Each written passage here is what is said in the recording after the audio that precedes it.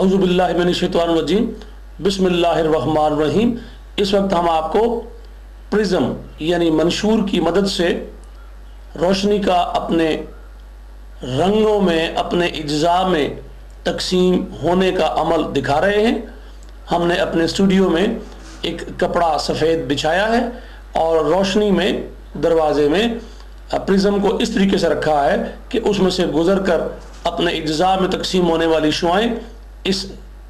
सफ़ेद कपड़े पर पड़ रही हैं और आप देख रहे हैं कि किस तरीके से कौन कौन से रंगों में तकसीम होकर आपको नज़र आ रही हैं ये अपने साइंस पढ़ने वाले बच्चों के लिए हमने एक तजर्बा किया है जो हम आपको दिखा रहे हैं